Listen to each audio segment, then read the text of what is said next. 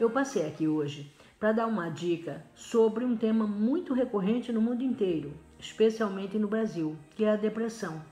Muita gente acha que depressão é simplesmente a falta de um bom tanque de roupa para lavar, ou mesmo que é frescura. Falam ainda que depressão é doença de rico, mas na verdade, a depressão é a perda total do interesse do indivíduo pelo ambiente que o cerca. A pessoa com depressão ela perde o interesse até pelas coisas básicas, como uh, levantar da cama, como tomar banho, escovar os dentes. As pessoas têm dificuldade, inclusive, de saírem de suas casas. Muitas vezes perdem empregos, perdem grandes oportunidades, têm problemas na sua relação conjugal, na sua relação social, afetiva, enfim.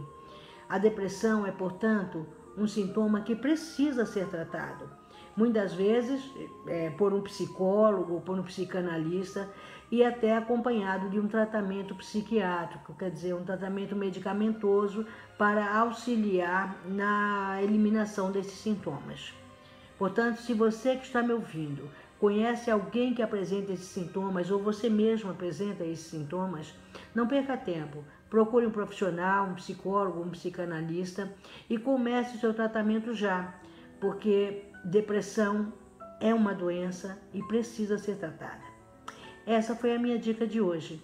Se vocês gostaram, dê um gostei aqui embaixo. Curtam a minha página Kátia Toca Você no Facebook.